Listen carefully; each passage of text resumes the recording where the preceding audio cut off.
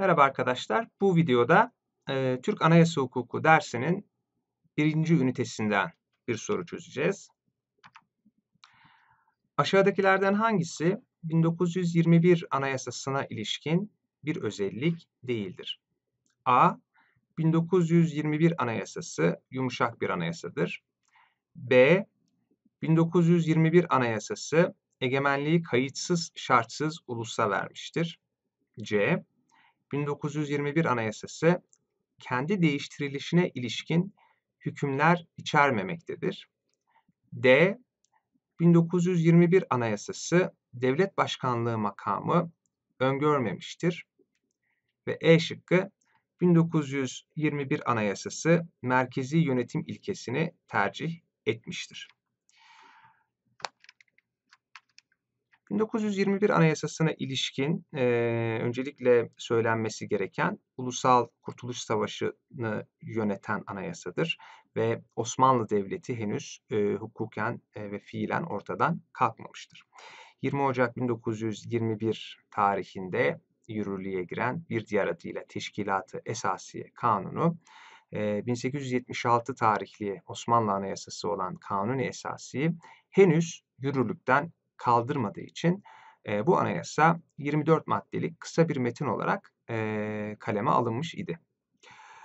E, tabii ki 1921 Anayasası'nın e, 1876 Osmanlı Kanunu esasisine göre çok farklı düşünsel ve ideolojik temellere dayandığını bilmemiz gerekiyor. Ve yeni Türk Devleti'nin aslında kurulmakta olduğunun bir habercisi olan bir metin olarak Türk siyasi tarihindeki yerini aldığını da ayrıca burada not edelim. 1921 Anayasası'nın en önemli, getirdiği en önemli e, ve en devrimci ilke milli egemenlik ilkesidir. Ulusal egemenlik ilkesidir. E, bu anayasa e, saltanatın kaldırılacağı yolunda bir hüküm içermemiş olsa bile e, milli egemenlik ilkesinin e, monarşi, kişisel egemenliğe dayanan monarşilerle, monarşik egemenlik düşüncesiyle e, bağdaşmayacağını da altını çizmemiz gerekir. Bu nedenle burada e, 1921 Anayasası'nda milli egemenlik ilkesi getirildiğine göre B şıkkı 1921 Anayasası'na ilişkin bir özelliktir. Yani sorumuzun yanıtı değil. Bu B şıkkını eleyebiliriz. C şıkkına baktığımızda 1921 Anayasası kendi değiştirilişine ilişkin hükümler içermemektedir. Bunu A şıkkı ile birlikte okursak ikisinin de aynı anlama geldiğini görüyoruz. 1921 Anayasası yumuşak bir anayasadır. E, bu açıdan bakıldığında gerçekten de tarihsel olarak doğru. 1921 Anayasası e, Osmanlı Türk tarihinin tek yumuşak anayasasıdır. Bu nedenle A şıkkını da eleyebiliriz. C şıkkı da doğal olarak elenmekte. Çünkü yumuşak anayasaların en temel özellikleri kendi değiştirilişine ilişkin hükümler içermemesidir. E, bunu da bilirsek e, A ve C şıkkını bu şekilde elemiş oluyoruz.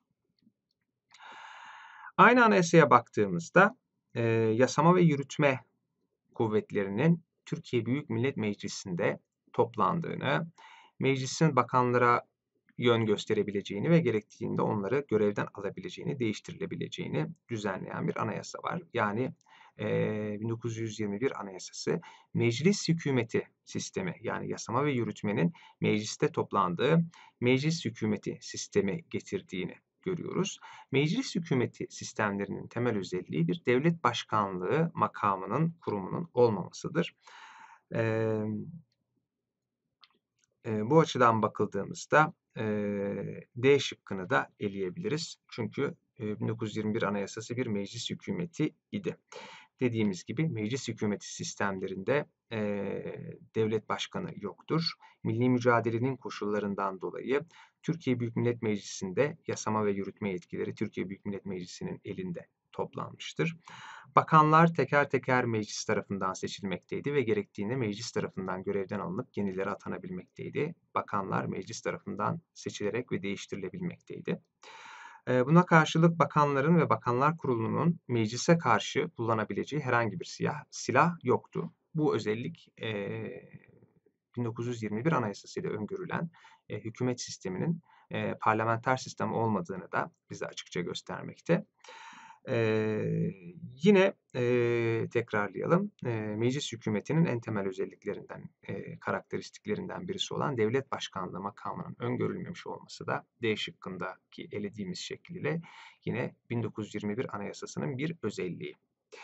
Nihayet E şıkkına geliyoruz. Doğru yanıtımız 1921 Anayasası merkezi yönetim ilkesini tercih etmiştir ifadesi yanlış. E, ama doğru yanıt bu. Çünkü e, 1921 Anayasası il ve nahiyelerde halk idaresi yani yerinden yönetim ilkesinin kabul edilmesi açısından da temel öneme sahip bir e, anayasadır. Merkezi yönetim ile yerinden yönetim ilkeleri birbirleriyle taban tabana zıt kavramlardır.